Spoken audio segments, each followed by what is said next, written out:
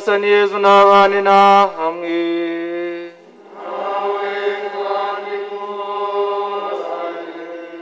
amagambo mu ivanjiri ntagatifu uko yanditswe na yohani.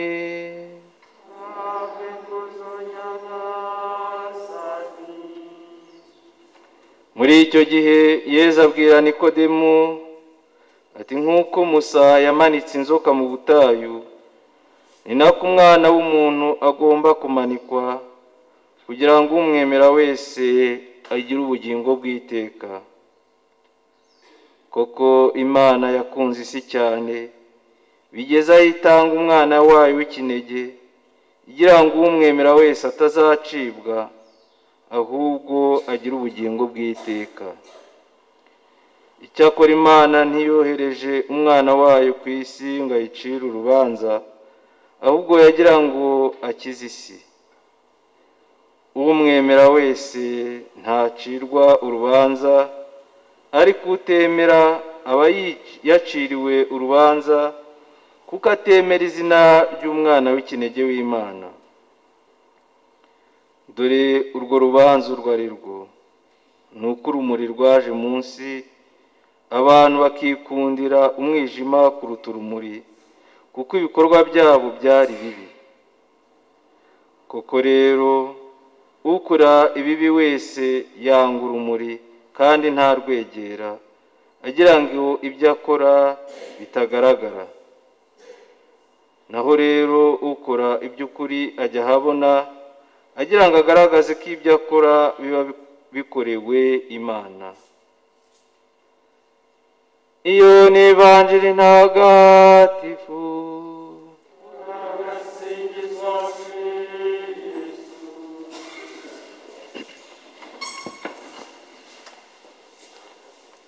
bavandimwe kirisiti yeza akuzwe ijambo ry'imana tuzirikana kuri iki cyumweru cya kane cy'igisibo riragaruka ku kintu gikomeye kiranga imana twemera imana twayobotse. Ni imana igira impuhwe ni imana igira imbabazi ni imana irangwa n'ubudahemuka.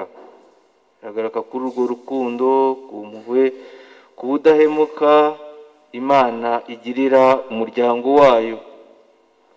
Mu isomo rya mbere twabyumvise babivugaho. Batuhoraho imana y'abasekuruza babo arabihanangiriza bikomeye kandi abatumaho intumwa ze abitewe n'imbabazi yari afitiye umuryango we bwite. Umuryango we bwite.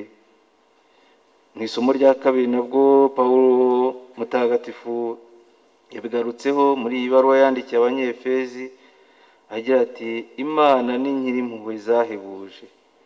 Kubera urukundo rwinshi yadukunze nubwo twari twarapfuye tuzize ibyaha byacu bwose yadushubije ubugingo hamwe na kirisito imana ni nyirimpuhwe zahebuje. Mu ivanjiri yezu arabitsindagira ati kuko imana yakunze isi cyane bigeze aho itanga umwana wayo w'ikinege kugira ngo umwemera wese atazacibwa ahubwo agire ubugingo bw'iteka.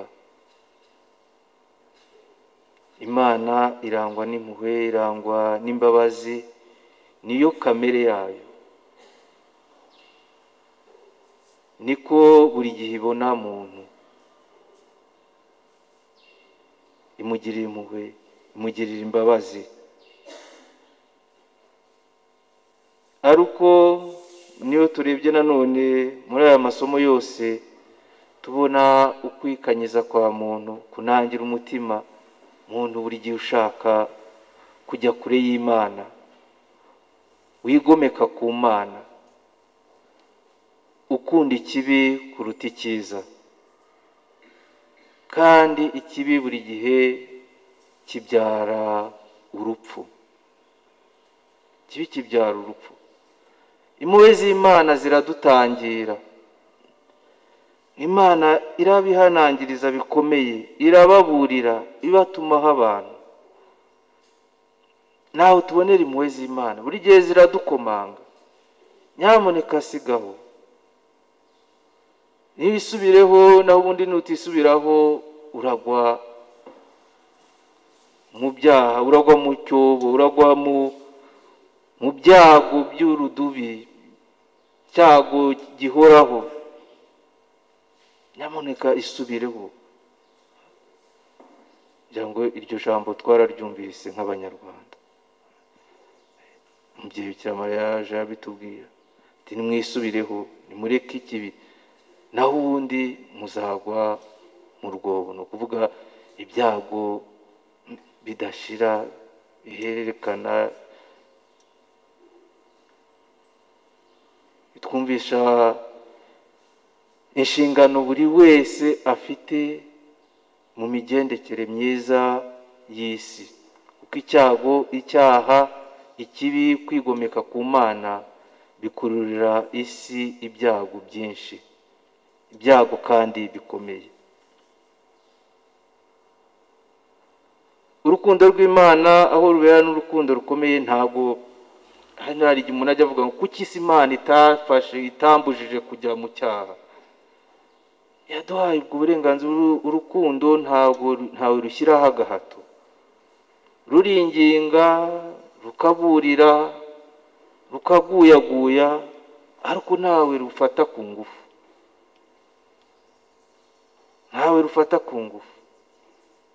Imana itubwiye iti mwisubireho nyamuneka nimuve mu kibi nimugarukire imana mwe kwigomeka ku mana kuko niyo soko y'ubuzima bwanyu. Tukabyangira tuti twebwe tuzabaho uko dushaka turigenga nitwe mana twikururira ibyago. Ibyago byinshi. Ariko naho ngaho imana ntidutererana iradushakashaka kugira ngo idukize. Iduha akaboko. Iyo twemeye kugafata iratuzahura. Uyu munsi irongera irabitubwiye dore ndabaha akaboko kanjye.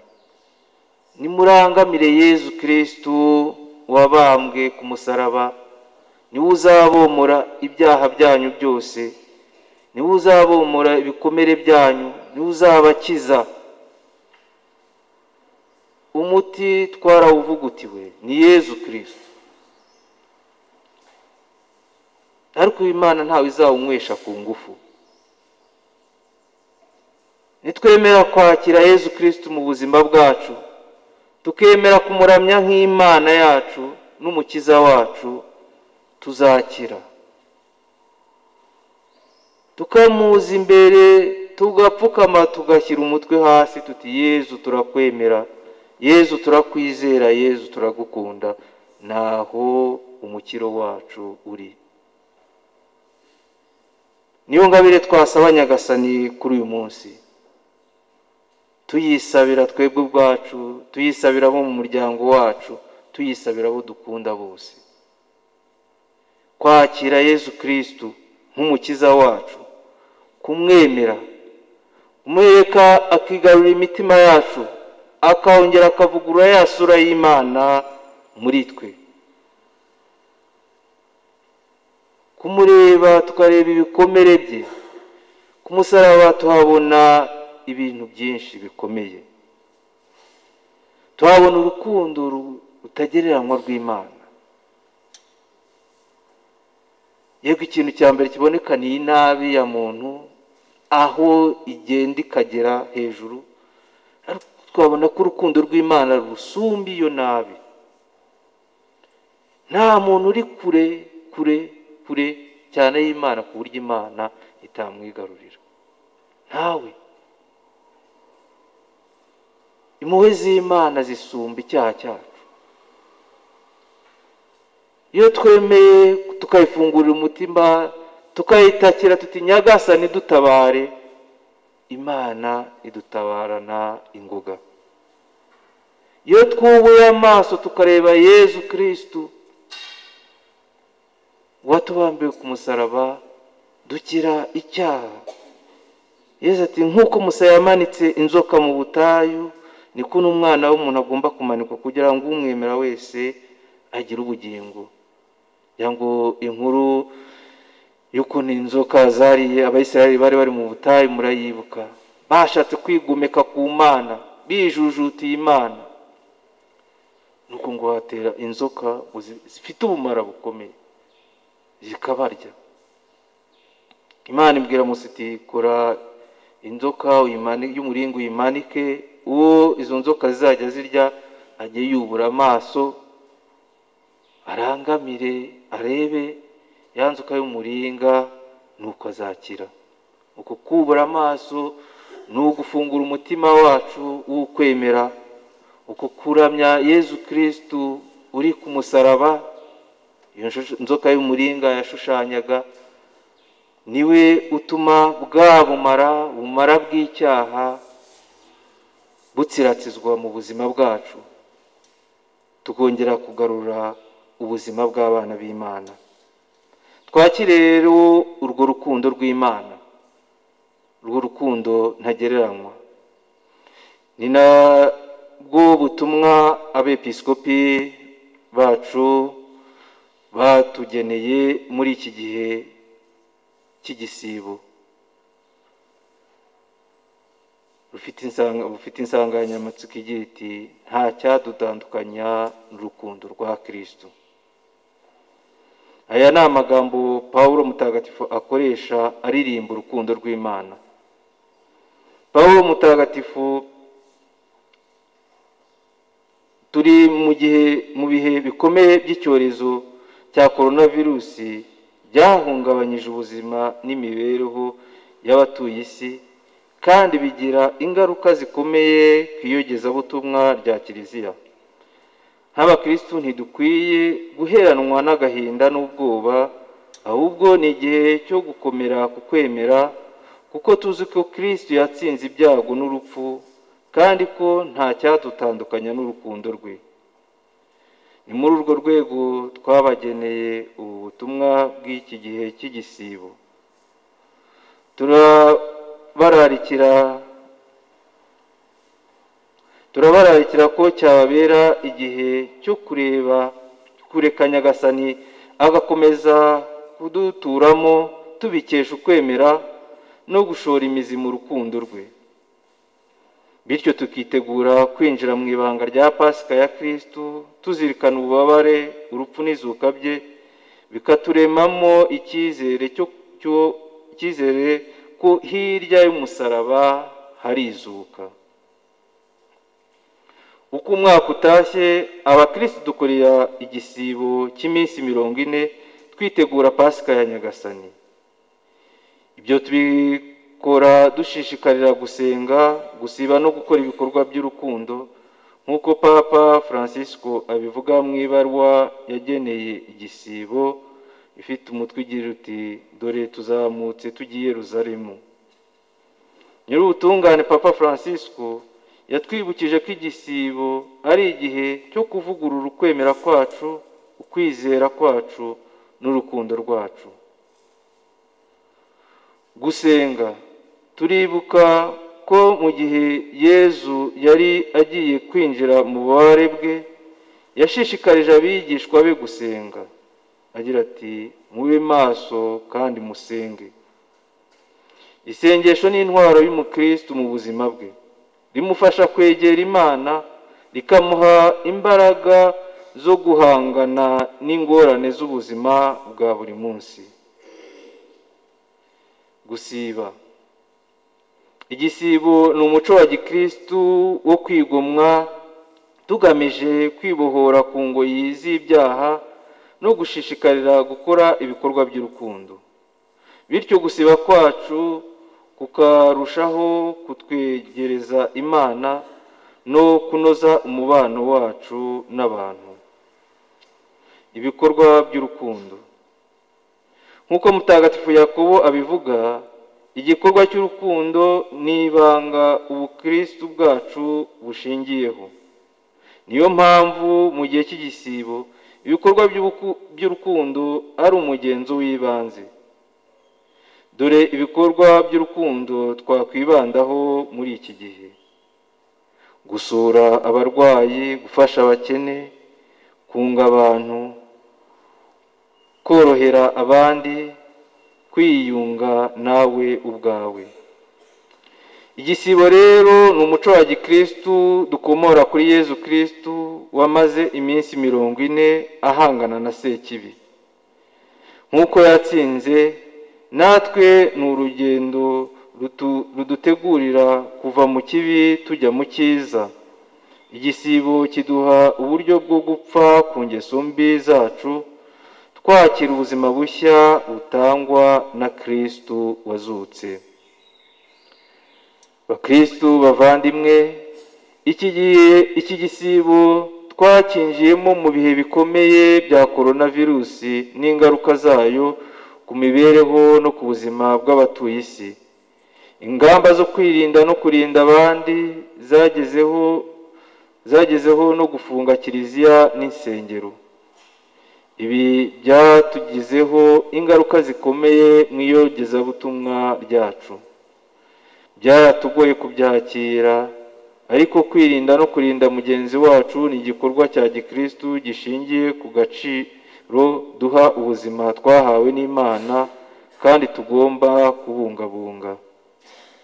Hari aho byageze abakirisitu ntibabyakire kimwe kandi birumvikana kubera ububabare bidushyiramo ariko ntibikwiye kwirengagiza no kwirengagiza ko kwirinda no kurinda mugenzi wacu ari inshingano y'ibanze. Tukifuza ko uburyo bwo kubishyira mu bikorwa koko bukwiye kujya bwumvikanwaho neza. Turashimira imana ikomeje kuturinda. Turashimira abantu bose bo mu nzego zitandukanye z'igihugu cyacu abayobozi abaganga abakorerabushake n'abandi bita ku buzima. Ku buryo bw'umwihariko turashimira abapadiri n'abihayimana babaye hafi abakirisitu babo tugashimira n'abakirisitu batigeze batezuka mu gufasha abapadiri babo gufasha abakirisitu gukomeza ingamba z'iyogezabutumwa ku buryo butabangamiye ubwirinzi. Turashimira by'umwihariko ingo z'abakirisitu uburyo zitwaye muri ibi bihe bikomeye zishishikarira isengesho ryo mu rugo. Turashimira itangazamakuru ryakomeje gufasha kiliziya mu iyogezabutumwa ryo muri ibi bihe. Bakirisitu bavandimwe nubwo turi mu bihe bikomeye byashegeshe benshi muri twe turabasaba kwikomezamo amizero no kudacogora mu kwemera. Turangamire kirisitu we mizero yacu ni we utubwira ati dore ndi kumwe namwe iminsi yose kugeza igihe isi izashirira. Paul mutagatifu nawe akatwibutsa ko kubemera imana kandi bakayizera nta kigeragezo cyashobora kubatandukanya n'urukundo rwayo. Duharanire duharanire kutagira icyo dutakaza mu by'ingenzi biranga imyemerere yacu ariko tunashaka uburyo bujyanye n'ibi bihe turimo. Byaragaragaye ko nk'umuryango w'abana b'imana dusangiye gupfa no gukira. Ntabwo abantu bakwiye kuba ba nyamwigendaho dukwiye gushyira imbere ubufatanye mu gushakira hamwe ibisubizo by'ibibazo turimo. Ibyo bigasaba kujya inama. Tugaruke ku gaciro k'isengesho ku muntu ku giti cye ndetse n'iryo asangiye n'abo babana niryo rifasha isengesho ry'ikoraniro duhuriramo nka kiliziya kandi rikubaka ingo z'abashakanye. Gusenga twifashishije ikoranabuhanga byagiriye akamaro abakirisitu batashoboraga guhura. Ariko ntibisimbura isengesho ry'ikoraniro. Bakirisitu bavandimwe mu gusoza ubu butumwa turagira ngo tubibutse ko yezu ahora aduhumuriza mu bihe bikomeye nk'ibi nk'uko yabyibukije abigishwa be agira ati hano munsi muzahagirira amakuba ariko nimukomere isi narayitsinze. Aya magambo ya yezu kirisitu natwe araduhumuriza muri iki gihe duhanganye na korona virusi igisibo kitwibutsa imibabaro ya yezu kirisitu inzira y'umusaraba yanyuzemo ajya kudupfira. Kitwibutsa ko mu buzima bwacu tugendana n'urupfu twakururiwe n'icyaha.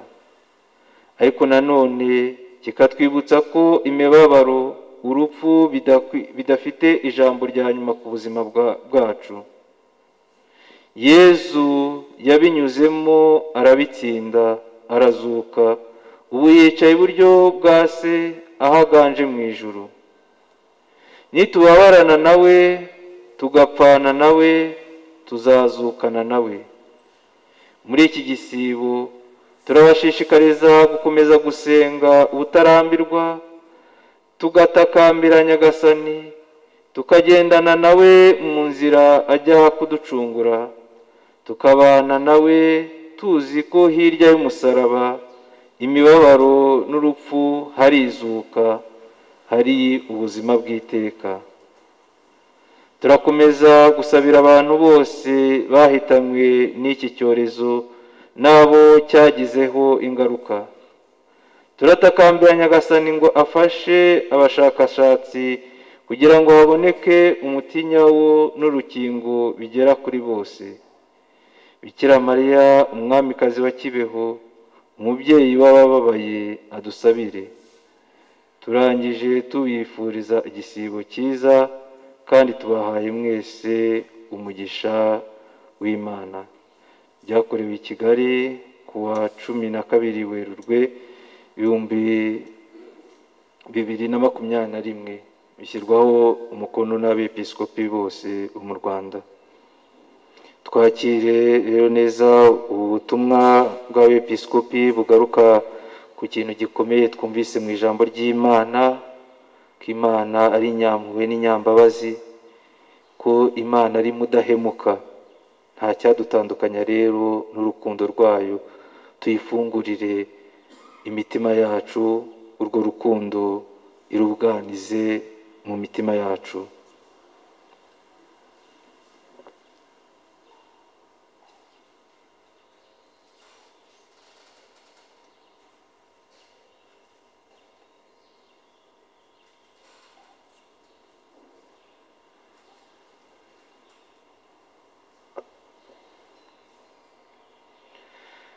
Muhaguruke twamamaze ukwemera kwacu.